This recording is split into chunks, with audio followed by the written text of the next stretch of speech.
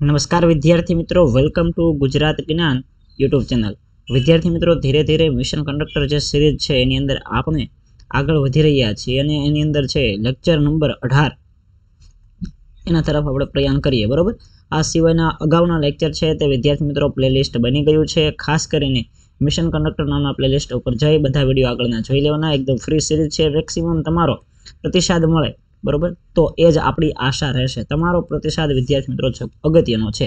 જેવો તમારો સપોર્ટ મળશે, એ પ્રમાણે સિરીઝ છે લેક્ચર છે, આગળ કન્ટિન્યુ રહેશે. આજે કઈ તારીખ છે? આજે દોસ્તો તારીખ છે આઠ એક બે હજાર ને ચોવીસ.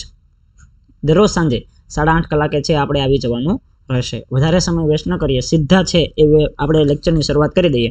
પણ વિદ્યાર્થી મિત્રો, આપણે છે લગભગ છે આ વાત કરું તમને તો કેટલા સબસ્ક્રાઈબર થઈ ગયા છે? તો ચોત્રીસ હજાર અને આઠસો પ્લસ સબસ્ક્રાઈબર છે. મતલબ કે ચોત્રીસ હજાર આસપાસ સબસ્ક્રાઈબર છે. આપણે પાંત્રીસ હજાર સબસ્ક્રાઈબરમાં લગભગ સો જેટલા સબસ્ક્રાઈબર ઘટે છે. તો જે વિદ્યાર્થીઓ હોય, ખાસ વીડિયો જોતા હોય અને સબસ્ક્રાઈબ કરવાની ચેનલને બાકી છે તે ખાસ એકવાર છે દોસ્તો સબસ્ક્રાઈબ કરી નાખો અને વિડીયોને લાઇક છે તે અવશ્ય અવશ્ય શરૂઆતથી જ કરી નાખો, જેથી પાછળથી કોઈ પ્રોબ્લેમ ન રહે. ઓકે શરૂઆત કરી દઈએ. પ્રથમ પ્રશ્નથી કે રોડ સેફ્ટીની માર્ગદર્શિકા મુજબ પશુઓને લઈ જતા વાહનની ઝડપ કેટલી હોય છે? મતલબ કે તમને દોસ્તો ઝડપને લગતો અહીંયા પ્રશ્ન પૂછેલો છે. શેને લગતો? ઝડપને લગતો તમને પ્રશ્ન પૂછેલો છે. ઓકે, કંઈ વાંધો નહીં. ઓપ્શન એની અંદર તમને જોવા મળે છે કે ચાલીસ કિલોમીટર પ્રતિ કલાક. ઓપ્શન બીની અંદર જોવા મળે છે, ભાઈ વીસ કિલોમીટર પ્રતિ કલાક, બરોબર? ઓપ્શન સીની અંદર દોસ્તો તમને જોવા મળે છે કે એંસી કિલોમીટર પ્રતિ કલાક અને ઓપ્શન ડીની અંદર જોવા મળે છે ત્રીસ કિલોમીટર પ્રતિ કલાક. જે વિદ્યાર્થીઓને જવાબ ખ્યાલ છે તે વિદ્યાર્થીઓ ઝડ, ઝડપથી કોમેન્ટ એકવાર કરી નાખો. અથવા તો છે એ તમારા મગજની અંદર વિચારી લો, વિડીયોને પોઝ કરીને હવે પહેલાં તો રોડ સેફટીની માર્ગદર્શિકા વિશે અગાઉ પણ મેં તમને સમજાયેલું હતું અને અગાઉનો લેક્ચર જે વિદ્યાર્થીઓએ નથી જોયો ખાસ જોઈ લો કારણ કે રેડ સેફટીની માર્ગદર્શિકા ક્યારે તૈયાર કરવામાં આવી? એની અંદર જે વર્ષ દીઠ છે એ કેટલી બેઠકનું આયોજન થાય છે? શા માટે આ રોડ સેફટી માર્ગદર્શિકા એ તૈયાર કરવામાં આવેલી? આ બધી વસ્તુ અગાઉના લેક્ચરની અંદર મેં તમને જણાવેલી છે, એટલે ફરીથી રિપીટ નહીં કરીએ. અહીંયા વિદ્યાર્થી મિત્રો યાદ રાખજો, શેને લગતી વાત છે? તો કે પશુઓને લઈ જતા જે વાહનો હોય, એની ઝડપ કેટલી રાખવી જોઈએ? એ પ્રકારનો કંઈક સવાલ તમને પૂછેલો છે. તો અહીંયા જવાબ તમારો થાય છે ઓપ્શન એ, એટલે કે ચાલીસ કિલોમીટર પ્રતિ કલાક છે.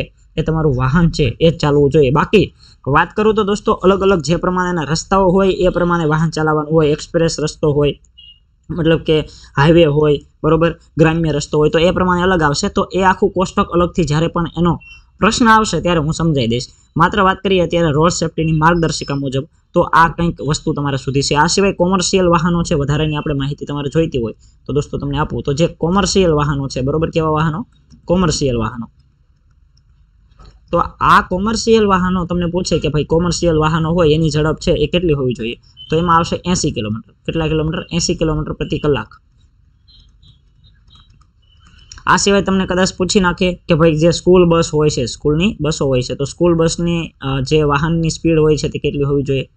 તો સ્કૂલ બસની સ્પીડ દોસ્તો કેટલી હોય? ચાલીસ કિલોમીટર પ્રતિ કલાક. આપણે જે પ્રમાણે પશુઓના વાહનની હોય એ જ પ્રમાણે અહીંયા છે તે ચાલીસ કિલોમીટર પ્રતિ કલાક આવશે. ઓકે? ત્યારબાદ વિદ્યાર્થી મિત્રો વાત કરું તો જે રિક્ષાઓની એ બધી હોય છે, તો રિક્ષાઓની જે સ્પીડ હોય છે સ્કૂલ બસની રિક્ષા એ બધી રિક્ષાઓ, તો એને માત્ર વીસ કિલોમીટર સુધીની છૂટી આપેલી છે વીસ કિલોમીટર પ્રતિ કલાક. કલાક તો તમારે ભૂલવાના જ નથી, પાછળ બધાની અંદર કલાક આવશે જ આવશે ને આવશે. ઓકે. આ સિવાય બીજા ઘણા બધા વાહનો જે હોતા હોય છે, એની આપણે વિગતે જેમ જેમ પ્રશ્નો આવશે એમ ચર્ચાઓ કરતા જઈશું. પણ આ ત્રણ વસ્તુ યાદ રાખજો. કોમર્શિયલ વાહનો તો કે એંસી કિલોમીટર પ્રતિ કલાક સ્કૂલ બસના વાહનો ચાલીસ કિલોમીટર પ્રતિ કલાક રિક્ષા ને બધા હોય એની અંદર વીસ કિલોમીટર પ્રતિ કલાક અને પશુઓને લઈ જતા વાહનો છે એની અંદર દોસ્તો ચાલીસ કિલોમીટર પ્રતિ કલાક. ચલો, ત્યારે પહેલા નંબરનો પ્રશ્ન ક્લિયર થઈ ગયો. આગળ વધી જઈએ. બીજા નંબરના પ્રશ્ન તરફ જઈએ કે જ્યારે પંક્તિ કે વાક્યમાં એકના એક વર્ણનું પુનરાવર્તન થતું હોય ત્યારે તેને કયો અલંકાર કહેવાય? જો એકનો એક વર્ણ વર્ણ એટલે તો બધાને ખ્યાલ હશે. વર્ણ એટલે શું થાય દોસ્તો? તો વર્ણ એટલે થાય અક્ષર. વર્ણ એટલે શું થાય? અક્ષર થાય. તો એકનો એક અક્ષર વારંવાર રિપીટ થતો હોય. આપણે નથી બોલતા સંદુ કે સાચા ને સંદુ કે સાચી કો સાની છતાં એવું કંઈક આવે છે. તો એની અંદર છે ચંદુ ચંદુ એટલે ચ અક્ષર વારંવાર રિપીટ થાય છે. તો આવું જ્યારે થતું હોય ને, તો એને કયો અલંકાર કહેવાય? તમને એમ પ્રશ્ન પૂછી નાખ્યો છે તો એને કયો અલંકાર કહેવાયો? ઓકે.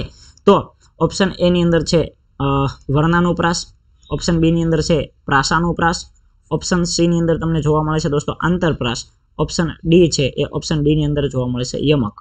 ચાલો જે વિદ્યાર્થીઓને ખ્યાલ હોય વીડિયો પોસ્ટ કરીને જવાબ આપી દો બધાને ખબર પડે છે કે વર્ણનું વારંવાર પુનરાવર્તન થતું હોય એટલે વર્ણાનુપ્રાસ હોય. કયો અલંકાર હોય? વર્ણાનુપ્રાસ અલંકાર હોય. તો ઓપ્શન એ છે એ તમારો સાચો જવાબ થશે. હવે વર્ણાનુપ્રાસ અલંકારના તમને કોઈ ઉદાહરણ આપવાની જરૂર નથી. ઓકે વાત કરીએ બીજા નંબરનો, એટલે કે પ્રાસાનુપ્રાસ, ડિટેલ્સમાં થોડીક છે, ચર્ચાઓ કરતા જશું, જેથી તમને વાંધો ન આવે. જો ભાઈ પ્રાસાનુપ્રાસા અલંકાર હોય ને, એની અંદર છે ને, એ જે વાક્ય આપેલું હોય ને, મતલબ કે પંક્તિ આપેલી હોય, જે કાંઈ પંક્તિ આપેલી હોય, તે પંક્તિની અંદર અંતે પ્રાસ બેસતો હોય. અંતે પ્રાસ બેસતો હોય. જેમ કે હું કહું કે, કેમ છો મિત્રો? તમારા દોરું હું ચિત્રો. તો મિત્રો અને ચિત્રો એ શું થયું? દોસ્તો, પ્રાસ બેઠો. જેમ કે, પાને પાને પોઢી રાત, તળાવ જેપ્યું કહેવા વાત. ઓકે? તો પોઢી રાત અને વાત આ બંને છે. રાત અને વાત. પાને પાને પોઢી રાત તળાવ જીપ્યું કહેવા વાત. તો રાત અને વાત છે એ અંત, અંત્ય છે જે વિદ્યાર્થી મિત્રો છે એ ખાસ કરીને પ્રાસ બેસે છે એટલે એને પ્રાસાનુપ્રાસ કહેવાય. આંતરપ્રાસ. આંતરપ્રાસને વિદ્યાર્થી મિત્રો પ્રાસ સાંકળી તરીકે પણ ઓળખવામાં આવે છે. એનું બીજું નામ છે દોસ્તો પ્રાસ સાંકળી. યાદ રાખજો. બરોબર? તો આ અલંકારની અંદર શું હોય દોસ્તો? આ અલંકારની અંદર જે વાક્ય દાખલા તરીકે આ એક લાઈન છે અને બીજી લાઈન છે. તો જે પ્રથમ જે પંક્તિ હતી એનો છેલ્લો અક્ષર અને બીજી નંબરની પંક્તિ છે એનો પ્રથમ અક્ષર. આ બંને વચ્ચે છે તે પ્રાસ બેસતો હોય. જેમ કે જેમ કે અહીંયા એક પંક્તિ લખું, બરોબર? એક પંક્તિ લખું કે વિદ્યા ભણ્યો જે, વિદ્યા ભણ્યો જે હ. પછી આ બીજી પંક્તિ.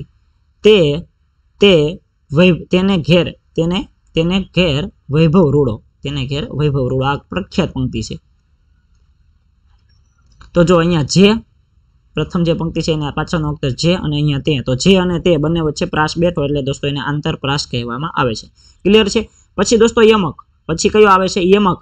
તો યમકની અંદર શું હોય કે ભાઈ એકનો એક શબ્દ હોય ને એ વારંવાર રિપીટ થતો હોય. બરોબર? એકનો એક શબ્દ વારંવાર રિપીટ થતો હોય. તો એને શબ્દનો પ્રાસ ન કહેવાય. એકનો એકનો એક શબ્દ વારંવાર રિપીટ થાય તો એને શબ્દાનુપ્રાસ અલંકાર પણ કહી શકાય. પરંતુ શબ્દાનુપ્રાસ અલંકારની અંદર શું હોય કે અર્થ એક જ થાય. પરંતુ યમક અલંકારની અંદર યાદ રાખજો કે અર્થ છે તે અલગ થાય. જેમ કે ઉદાહરણ દ્વારા સમજાવું. તમને અહીંયા દોસ્તો ઉદાહરણ એક લખું છું, યાદ રાખજો. કે જવાની તો જવાની. આ ભાઈ ફેમસ છે. બરોબર? જવાની તો જવાની. અહીંયા છે જવાની બે વાર રિપીટ થયું. પણ આ જવાની છે એ વાત છે આપણા જે આપણું જે વર્ષ છે ને, આપણે જે આપણા સંબંધિત છે, એ છે. અને આ જવાની એટલે અન્ય જગ્યાએ જવાની વાત છે. તો જો જવાનીનો બંને અલગ થાય છે. આ સિવાય તમે કંઈક બીજું તો સાંભળેલું છે કે તપેલી તો તપેલી છે. મતલબ કે તપેલી એટલે આપણે રાંધીએ છીએ એ એક વાસણ, એક વાસણનો પ્રકાર છે તપેલી. અને તપેલી મતલબ કે ગરમ છે. તો કે તપેલી તો તપેલી છે. તો આ બધા ઉદાહરણો છે એ યમક અલંકારના ઉદાહરણો છે. તમને બસ ફંડા ક્લિયર હોવો જોઈએ કે યમક અલંકાર એટલે એવા પ્રકારનો અલંકાર કે જેની અંદર એકનો એક શબ્દ વારંવાર રિપીટ થતો હોય અને દરેક જેટલી વાર રિપીટ થાય એમાં દરેકનો અર્થ છે તે અલગ અલગ હોય. ક્લિયર છે? તો સૌથી પહેલાં વર્ણાનુપ્રાસ અલંકાર જોઈ લીધો આપણે. જેની અંદર છે કે વાક્ય કે કોઈ પંક્તિ હોય તો એકને એક વર્ણનું વારંવાર પુનરાવર્તન થાય. પ્રાસાનુપ્રાસની અંદર છે અંતે પ્રાસ બેસતો હોય, જેમ કે વિદ્યા સોરી પાને પાને પોઢી રાત તળાવ જેપ્યું કહેવા વાત. પછી આંતરપ્રાસ જેમ કે પ્રાસ સાંકળી એને બીજા નામે પ્રાસ સાંકળી તરીકે ઓળખવામાં આવે છે. જેની અંદર શું હોય તો અંદરના અક્ષરો છે જો અહીંયા જે અને તે આ રીતે તમને ઉદાહરણ આપી સમજાયું હતું. તો એ અને છેલ્લે યમક અલંકાર. બરોબર? ચાલો ત્યારે.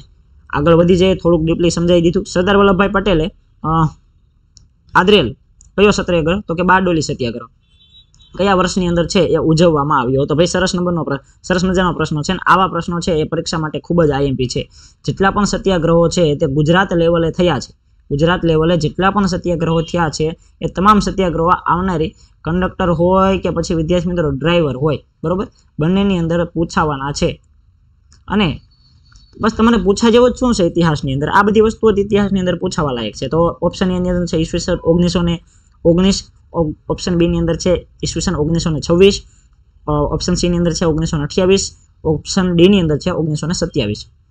બસ એક એક ઉંમરનો ફેરફાર કરેલો છે. પણ અહીંયા જવાબ થશે ઓપ્શન સી એટલે કે ઓગણીસો ને અઠ્યાવીસ છે તે બારડોલી સત્યાગ્રહ છે, એનો દોસ્તો છે તે આદરેલો હતો. કોને આદરેલો હતો? સરદાર વલ્લભભાઈ પટેલે આદરેલો હતો. બરોબર? શા માટે?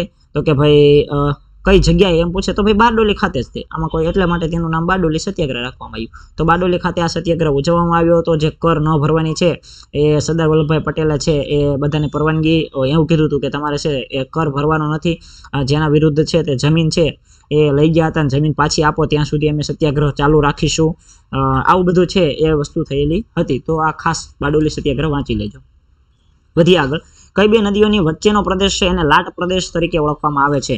ઓપ્શન એની અંદર છે દોસ્તો હિરણ અને ભોગાવો. ઓપ્શન બી ની અંદર છે ઓરસંગ મહી. ઓપ્શન સી ની અંદર મહી શેઢી એટલે મહી રેવા. ઓપ્શન સી ની અંદર છે મહી અને રેવા. ઓપ્શન ડી ની અંદર છે વાત્રક અને શેઢી. બરોબર, ચાલો ઝડપથી દોસ્તો જવાબ આપો, શું આવશે? તો અહીંયા લાટ પ્રદેશની વાત કરેલી છે. લાટ પ્રદેશ છે દોસ્તો એ મહી નદી મહી નદી અને સાથે સાથે રેવા નદી છે. તે મહી અને રેવા નદી વચ્ચેનો જે આખો પ્રદેશ છે એને લાટ પ્રદેશ કહેવાય. તો અહીંયા ઓપ્શન સી છે એ તમારો સાચો જવાબ થશે. શું થશે? ઓપ્શન સી તમારો સાચો જવાબ થશે. વધી જઈએ આગળ. બહુ લેન્ધી પ્રશ્ન, બહુ લાંબો પ્રશ્ન, પણ સમજવાનો પ્રયત્ન કરીએ. રિઝનિંગનો દોસ્તો પ્રશ્ન છે. જેનો રિઝનિંગનો છે એ પ્રશ્ન લીધેલો છે અહીંયા. અને એ પણ દિશા નામનું જે આપણું જે ચેપ્ટર આવે છે, તો દિશા નામના ચેપ્ટરમાંથી આ પ્રશ્ન કાઢ્યો. ચલો જોઈએ. કે કોઈ એક વ્યક્તિ પૂર્વ દિશામાં કેટલા કિલોમીટર ચાલે છે? તો કે પાંચ કિલોમીટર પાંચ કિલોમીટર ચાલે છે ભાઈ. ચાલો કાંઈ વાંધો નહીં. કોઈ એક વ્યક્તિ છે આપણે છે, એ સૌથી પહેલાં તો એનું ગંતવ્ય બિંદુ એટલે અહીંયાથી નક્કી કરીએ બરાબર? અહીંયાથી દોસ્તો શરૂઆત કરીએ આપણે કે ભાઈ અહીંયાથી તે ચાલવાનું નક્કી કરે છે. હવે બધી દિશાનો ખ્યાલ તમને આવી જવો જોઈએ કે આ જે ગંતવ્ય બિંદુ મેં ટપકું દોર્યું ઉપરની હોય તો ઉત્તર દિશા, નીચેની હોય તો દક્ષિણ દિશા, આ બાજુ પૂર્વ અને આ બાજુ પશ્ચિમ. એટલો તો તમને ખ્યાલ આવી જવો જોઈએ. ઓકે? તો એમ કહે છે કે એક વ્યક્તિ પૂર્વ દિશામાં પાંચ કિલોમીટર ચાલે છે. તો અહીંયાથી અહીંયાથી દોસ્તો તમારે આ બાજુ જવાનું છે. કઈ બાજુ? આ બાજુ. કેટલા કિલોમીટર ચાલે છે ભાઈ? તો કે પાંચ કિલોમીટર ચાલે છે. અહીંયા તમારે પાંચડો કરી નાખવાનો. અહીંયા કિલોમીટરને એવું બધું નહીં લખવાનું.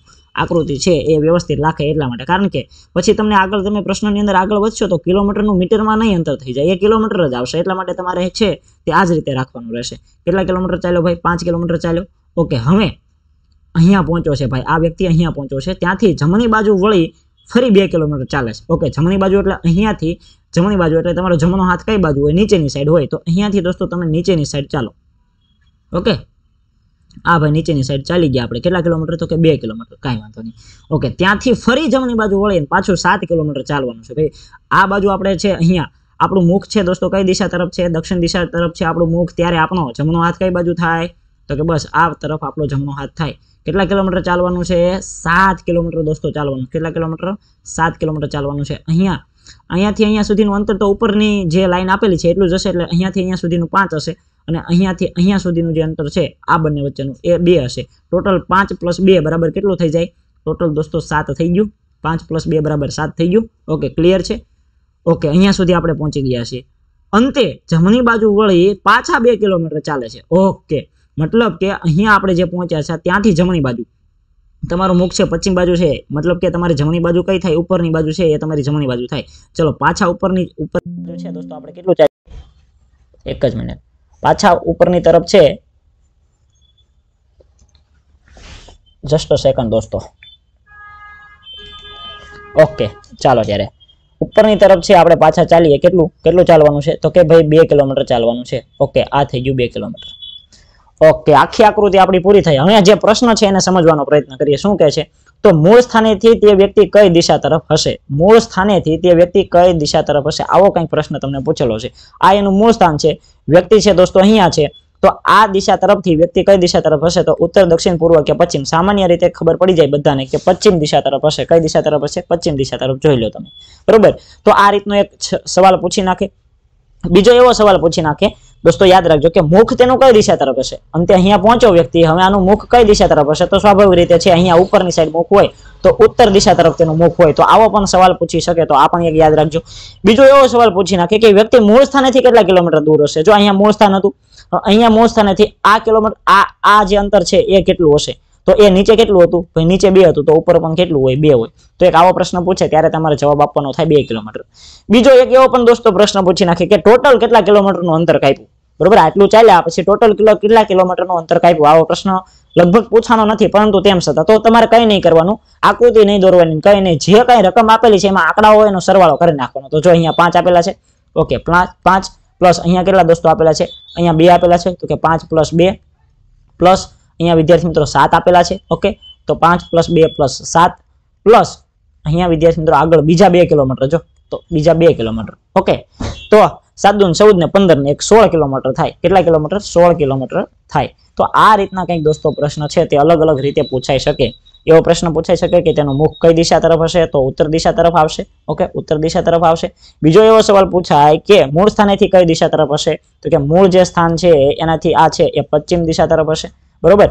એવો પ્રશ્ન પૂછાય, ટોટલ કેટલું કિલોમીટરનું અંતર કાપ્યું? તો કે સોળ કિલોમીટરનું અંતર કાપ્યું. એમ પ્રશ્ન પૂછાય કે મૂળ સ્થાનેથી કેટલા કિલોમીટર દૂર છે? તો કે બે કિલોમીટર દૂર છે. રેડી તો કોઈ પણ રીતનો તમારા સમક્ષ પ્રશ્ન આવે, તમારે જવાબ છે તે આવડવો જોઈએ.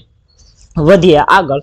નીચેનામાંથી યોગ્ય વિકલ્પો પસંદ કરો. ખાસ કરીને મેં ગઈકાલે તમને વાત કરી હતી એ પ્રમાણે કે હવે છે, હવે દોસ્તો આપણે છે, એ કંડક્ટરની જે ફરજો નામનો તમારો જે ટોપિક છે, બરોબર? કંડક્ટરની ફરજો. એમાંથી દસક દિવસ સુધી રેગ્યુલર બેઝ ઉપર પ્રશ્ન લઈશું. ઓકે, તો એમ, એમાંનો એક પ્રશ્ન છે એ ઓપ્શન એ ની અંદર એવું લખેલું છે. તમને એમ કહ્યું છે, નીચેનામાંથી યોગ્ય વિકલ્પો પસંદ કરો. ઓપ્શન એ ની અંદર છે કે ઉલ્લેખિત બેઠક ક્ષમતા કરતા વધુ મુસાફરોની મંજૂરી આપવી. જો, ઉલ્લેખિત એટલે કે નક્કી કરેલા મુસાફરો છે. દાખલા તરીકે વાત કરું તો લક્ઝરી બસ જે હોય છે અથવા તો જે સીટર બસ હોય છે, બરોબર? થ્રી થ્રી બાય ફોરની બસ હોય છે, થ્રી બાય ફોરની બસ. એની અંદર વિદ્યાર્થી મિત્રો લગભગ બાવનથી ત્રેપનની સંખ્યા બેસાડવાની હોય. પ્લસ જે જીએસઆરટીસી નિગમે નક્કી કરેલું છે કે પચીસ ટકા વધારાના મુસાફરો છે એ તમે લઈ જઈ શકો. તો આ સંખ્યા નક્કી કરેલી સંખ્યા છે. એનાથી વધારે વધુ મુસાફરોની મંજૂરી આપી. તો આ વિધાન સાચું છે કે ખોટું?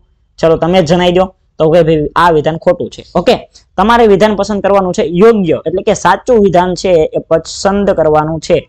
એબીસીડી માંથી સાચું વિધાન પસંદ કરવાનું છે. તો ઓપ્શન એ છે એ તો ખોટું છે. બરોબર?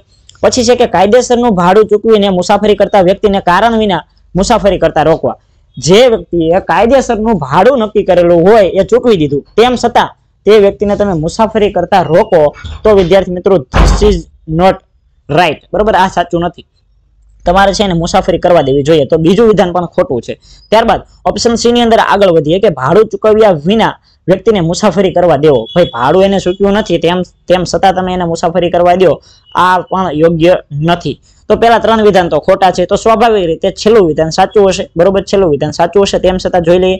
કે જે મુસાફરો છે, કે જે મુસાફરોનો સામાન ચોરાઈ ન જાય, તેની તકેદારી રાખવી. મતલબ કે મુસાફરોનો જે સામાન હોય તે ચોરાઈ ન જાય, તેની તકેદારી રાખવી. તો આ જે છે એ કંડક્ટરની ફરજમાં આવે છે. આ જે છે એ કંડક્ટરની ફરજમાં આવે છે. મતલબ કે ઓપ્શન ડી છે એ તમારો દોસ્તો સાચો જવાબ થશે.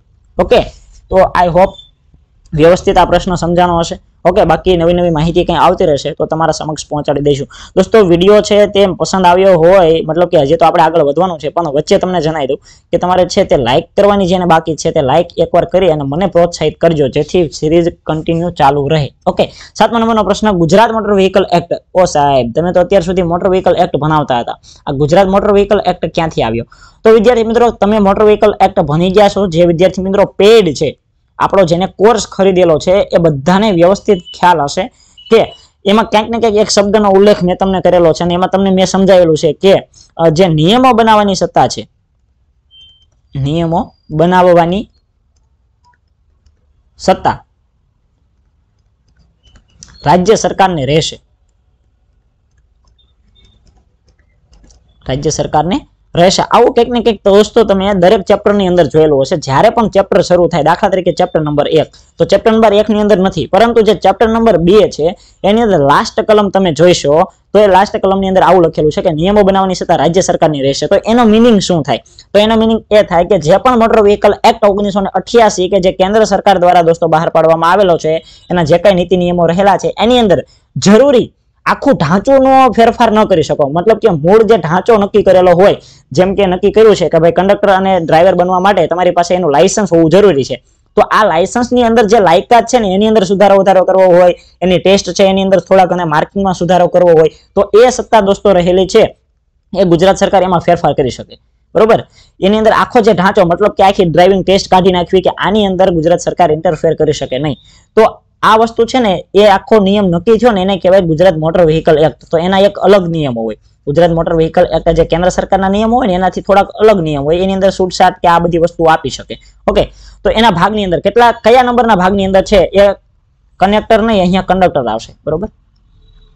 તો કંડક્ટર લાયસન્સની ફરજોની માહિતી આપેલી છે. કયા ભાગની અંદર છે? એ આ વસ્તુ દર્શાવવામાં આવેલી છે. ભાગ નંબર બે, ચાર, ત્રણ કે પાંચ. તો અહીંયા જવાબ આવશે ભાગ નંબર ત્રણ. અહીંયા જવાબ આવશે દોસ્તો તમારો ભાગ નંબર ત્રણ. ઓકે બાકી ડીપલી ડીપલી વિદ્યાર્થી મિત્રો છે એ આપણે બધી વસ્તુઓ છે તે સમજાઈ દીધેલી છે પેડ વિદ્યાર્થી મિત્રોને. ઓકે વધીએ છીએ આગળ.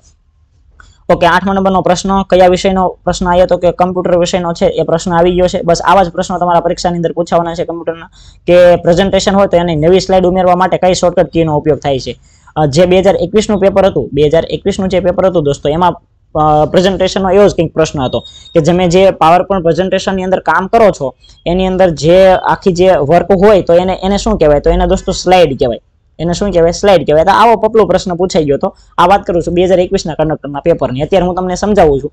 એ પણ દોસ્તો છે, એ પાવર પોઈન્ટ પ્રેઝન્ટેશન દ્વારા સમજાવું છું. તો હવે આ દાખલા તરીકે આ સ્લાઇડ છે, બરોબર? અહીંયા આઠ નંબરનું માર્કિંગ આપેલું છે અને હવે મારે નવી સ્લાઇડ કોઈ ઉમેરવી હોય, તો મારે કઈ શોર્ટકટ કીનો ઉપયોગ કરવાનો થાય? Control M control N control alt alt M કે પછી અલ્ટર એન ચાલો. ઘણા બધા વિદ્યાર્થી મિત્રો કંટ્રોલ એન તરફ જશે, પરંતુ કંટ્રોલ એન નહીં આવે. જ્યારે તમારે નવી નવી પીપીટીની આખી ફોર્મેટ તૈયાર કરવું હોય, મતલબ કે નવી જ પીપીટી ફાઇલ તૈયાર કરવી હોય, નવી જ પીપીટી ફાઇલ તૈયાર કરવી હોય, ત્યારે દોસ્તો કંટ્રોલ એન આવશે. યાદ રાખજો, બરોબર? પરંતુ નવી સ્લાઇડ જ્યારે ઉમેરવાની હોય, તો નવી સ્લાઇડ ઉમેરવા માટે કંટ્રોલ એમ આવશે. પ્રેક્ટિકલ કરીને બતાવું કે ચાલશે? ચાલો તમને પ્રેક્ટિકલ કરીને બતાવી દઉં. ઓકે થોડું આપણે બેગ જઈએ. આ બધું કાઢી નાખું છું કે ચાલુ રાખું. કાંઈ વાંધો નહીં રહ્યું. ઓકે હવે છે વિદ્યાર્થી મિત્રો, હું નીકળી ગયો છું બેગ હવે છે મારે નવી સ્લાઇડ એડ કરવી છે, તો મને શું મેં તમને સમજાવ્યું કે કંટ્રોલ પ્લસ એમ દબાવવાનું રહેશે. ચલો, મેં કંટ્રોલ કી પ્રેસ કરી, હવે એમ કી પ્રેસ કરી. ઓકે જો આવી ગઈ નવી સ્લાઇડ આ સ્લાઇડ છે, એ જૂની સ્લાઇડ છે, આઠ નંબરની. અને અહીંયા આ એકસો દસ નંબરની સ્લાઇડ જુઓ તમે, અહીંયા એકસો દસ નંબરની સ્લાઇડ છે, એ નવી આવી ગઈ. તો આ વસ્તુ વિદ્યાર્થી મિત્રો થશે. પ્લસ મેં તમને એક બીજું સમજાવ્યું કે કંટ્રોલ પ્લસ એન ક્લિક કરશો. કંટ્રોલ પ્લસ એન ક્લિક કરશો તો જો આખી નવું, નવી, આખું નવું પ્રેઝન્ટેશન તૈયાર કરવા માટેની ફાઇલ છે તમારી ઓપન થઈ જશે. ઓકે? તો ક્લિયર છે આ બંને વસ્તુ ભૂલાય નહીં. ખાસ પ્રેક્ટિકલ કરીને સમજાવી છે એટલા માટે. ઓકે? તો જો આઠમા નંબરનો સવાલ પૂરો કરીએ. આ તમારી નવી સ્લાઇડ લીધી હતી ને નવમા નંબરના સવાલ ઉપર આવી જઈએ. કે વધુ, સૌથી વધુ સંગ્રહ ક્ષમતા ધરાવતું મેમરી ડિવાઇસ કયું છે? ઓકે, સરસ મજાનો પ્રશ્ન છે. અને કમ્પ્યુટરનો જ પ્રશ્ન છે કે સૌથી વધુ વિદ્યાર્થી મિત્રો શું છે કે સંગ્રહ ક્ષમતા ધરાવતું મેમરી ડિવાઇસ નીચેનામાંથી કયું છે? Hard disk floppy disk compact disk કે પેન ડ્રાઈવ જો, તો અહીંયા હાર્ડ ડિસ્ક છે એ તમારો સાચો જવાબ થશે. શું જવાબ થશે વિદ્યાર્થી મિત્રો? હાર્ડ ડિસ્ક છે એક સૌથી વધારે સંગ્રહ ક્ષમતા ધરાવે. બરોબર? યાદ રાખજો, સૌથી વધારે સંગ્રહ ક્ષમતા કોણ ધરાવે છે? હાર્ડ ડિસ્ક પછી વાત કરીએ છીએ અહીંયા ફ્લોપી ડિસ્ક વિશે. તો ફ્લોપી જે ડિસ્ક છે એ સૌથી ઓછી વિદ્યાર્થી મિત્રો જે સંગ્રહ ક્ષમતા છે એ ધરાવે છે. તો સૌથી વધારે અને સૌથી ઓછી આ બંને વસ્તુ યાદ રહી ગઈ. ઓકે? પછી ઓપ્શનની અંદર તમને કોમ્પેક્ટ ડિસ્ક જોવા મળે છે. તો બસ એનું કામ એ જ છે દોસ્તો કે માહિતીનો સંગ્રહ કરવો. પણ જે પ્રકાશિત થયેલી માહિતી છે એનો સંગ્રહ કરવા માટે આ કોમ્પેક્ટ ડિસ્કનો ઉપયોગ થાય છે. પ્રકાશિત થયેલ માહિતીનો સંગ્રહ કરવા.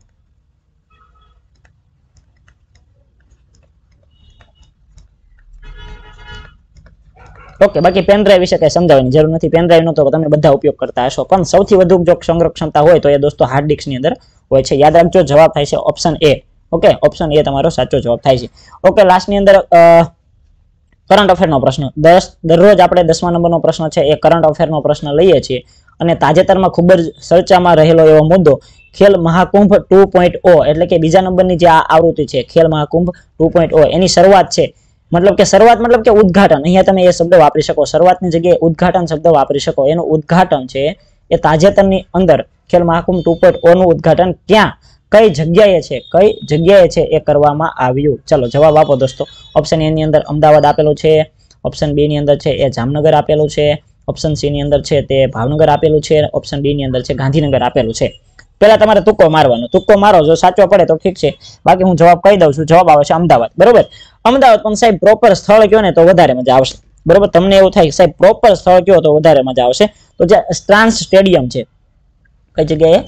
Trans stadium trans stadium Kankaria ખાતે. Kankaria. Okay? Stance stadium Kankaria ખાતે છે દોસ્તો, આ જે ખેલ મહાકુંભ ટુ પોઈન્ટ ઓ છે, એની શરૂઆત કરવામાં આવી. કોણ છે ભાઈ અત્યારના હાલના મુખ્યમંત્રી? તો હાલના મુખ્યમંત્રી છે દોસ્તો પટેલ, ભૂપેન્દ્રભાઈ પટેલ. ઓકે આખું લખવાની જરૂર નથી, પણ લખી નાખીએ. ભૂપેન્દ્રભાઈ તો ભૂપેન્દ્રભાઈ પટેલના હસ્તે છે તે ઉદઘાટન થયું. યાદ રાખજો, ઉદઘાટન કોના હસ્તક થયું? તો ભૂપેન્દ્રભાઈ પટેલના હસ્તક છે, ઉદઘાટન થયું. સાથે સાથે આની અંદર શું કરવામાં આવે? ખેલ મહાકુંભ હોય તો એની અંદર શું કરવામાં આવે? તો જે કાંઈ આપણે તાજેતરમાં જે કાંઈ નવી નવી ઇવેન્ટો યોજાઈ ગઈ છે, તો એની અંદર જે કાંઈ વિજેતા થયા હતા, જે કાંઈ ખેલાડીઓ વિજેતા થયા હતા, તમામ ખેલાડીઓને છે એ દોસ્તો વિજેતા સ્વરૂપે રોકડ રકમના પુરસ્કાર આપવામાં આવ્યા. એક તો રોકડ રકમના પુરસ્કાર આપવામાં આવ્યા. બીજું કે સાથે સાથે અમુક જે લીગ છે, અમુક જે લીગ છે આખા વર્ષની અંદર થવાની છે, તે લીગનું ઉદ્ઘાટન આ બધી વસ્તુઓ અહીંયાથી થઈ. આ સિવાય વાત કરું તો ઓલિમ્પિક ના જે ખેલાડીઓ હોય છે, એ ખેલાડીઓ સાથે સાથે બીજા રણજીના કે આ તે નેશનલ લેવલના પ્લેયર હોય છે, તે બધા વચ્ચે છે, એ રમતનું આયોજન કરવામાં આવ્યું. સાથે સાથે વિદ્યાર્થી મિત્રો વાત કરું તો જે દિવ્યાંગો, કે જે દિવ્યાંગો છે, એના માટે સ્પેશિયલ સ્પોર્ટ માટે, દિવ્યાંગો માટેનું સ્પેશિયલ રમતોત્સવ છે, એનું પણ ઉદ્ઘાટન કરવામાં આવ્યું. તો આ બધી વસ્તુઓ છે એ દોસ્તો ખાસ ખેલ મહાકુંભની શરૂઆત થઈ જે કરવામાં આવ્યું. યાદ રાખજો, અમદાવાદ ખાતે શરૂઆત થઈ. ભૂપેન્દ્રભાઈ પટેલ છે તે હાજર રહ્યા હતા. સાથે સાથે એક પ્રશ્ન કે હાલના રમતગમત મંત્રી કોણ છે? ચાલો, મને તમે દોસ્તો જણાવી દો હાલના રમતગમત મંત્રી, રમત ગમત મંત્રી. તાજેતરના રમતગમત મંત્રી કોણ છે? ગુજરાતના હો. ગુજરાતના કહેવાનું છે. ગુજરાતના રમતગમત મંત્રી. ઓકે, તો જવાબ આવશે તમારા જે વાહન વ્યવહાર મંત્રી છે તે જ, એટલે કે એટલે કે તમને બધાને ખ્યાલ આવી ગયો હશે કે હર્ષભાઈ સંઘવી, બરોબર? ગૃહમંત્રી છે, રમતગમત મંત્રી છે, વાહન વ્યવહાર મંત્રી છે ઘણા બધા હવાલાઓ છે, તે હર્ષ સંઘવી સંભાળે છે. ચાલો ક્લિયર છે આ બધી વસ્તુઓ? ઓકે તો આજના પ્રશ્નો હતા એ સરસ રહ્યા. જે વિદ્યાર્થીઓને છે અમારા સો એ સો માર્કના કન્ટેન્ટનો કોર્સ લેવાનો હોય, તેના માટે છે એ સો એ સો માર્કનું day to day planning wise એવું સરસ મજાનું આયોજન સહિત કોર્સ તૈયાર કરેલો છે, સો એ સો માર્ક અહીંયા તમારા કવર થઈ જાય તે પ્રમાણેનો. ઓકે તો આ કોર્સ જે વિદ્યાર્થીઓને ખરીદવાની ઈચ્છા હોય તે વિદ્યાર્થી મિત્રો, ખાસ વીડિયો છે ડિસ્ક્રિપ્શન બોક્સની અંદર છે, એની લિંક આપેલી છે. આની પ્રાઇઝ છે તે ચોવીસો નવ્વાણું રૂપિયા છે. વિથ બે બુક આવશે તમારી. આની સાથે બે બુકો તમને મળવાપાત્ર થાય છે. બરોબર? કઈ કઈ બે બુકો? તો પહેલી બુક છે તે વિદ્યાર્થી મિત્રો કંડક્ટરના કન્ટેન્ટની છે, તે બુક આવશે ત્રીસ માર્કની. અને બીજી બુક છે તે જીકેની બુક આવશે. આ બંને બુકો તમને મળવાપાત્ર થાય છે. છ મહિનાની અહીંયા વેલિડિટી મળવાપાત્ર થાય છે. પ્લસ દસ જેટલા મોડલ પેપરની ટેસ્ટ એપ્લિકેશનની અંદર મૂકવામાં આવશે. ઓકે એના માટે વિડીયોની નીચે ડિસ્ક્રિપ્શન બોક્સની લિંક આપેલી છે. જે વિદ્યાર્થીઓને માત્ર ને માત્ર ત્રીસ માર્કનો કોર્સ લેવો છે, તે વિદ્યાર્થીઓ જો અહીંયા તમારા માટે ત્રીસ માર્કનો કોર્સ અહીંયા અત્યારે એની પ્રાઇસ છે એ ચોવીસો નવ્વાણું હતી. પરંતુ હવે અગિયારસો ને નવ્વાણુંની અંદર છે વિદ્યાર્થી મિત્રો, આ કોર્સ તમને મળવાપાત્ર થાય છે. છ મહિનાની વેલિડિટી સાથે સાથે ત્રીસ માર્કના જે કન્ટેન્ટની દોસ્તો બુક હતી, તે ત્રીસ માર્કના કન્ટેન્ટની બુક છે તે તમને અહીંયા ફ્રી મળવાપાત્ર થાય છે. તમારા ઘરે આવી જશે. ઓકે ચાલો ત્યારે જે વિદ્યાર્થી મિત્રો છે ગુજરાત જ્ઞાન ચેનલને સબસ્ક્રાઇબ નથી કરી, ખાસ કરીને સબસ્ક્રાઇબ કરી નાખો લાઇક કરવાની બાકી લાઇક કરી નાખો વીડિયો શેર કરી દો ઇન્સ્ટાગ્રામ અને ટેલિગ્રામની અંદર ફોલો કરવાનું ભૂલતા નહીં. મળીએ છીએ નવા વિડીયોમાં નવી માહિતી સાથે. Thank you for watching this video જય હિન્દ, વંદે માતરમ. ભારત માતા કી જય.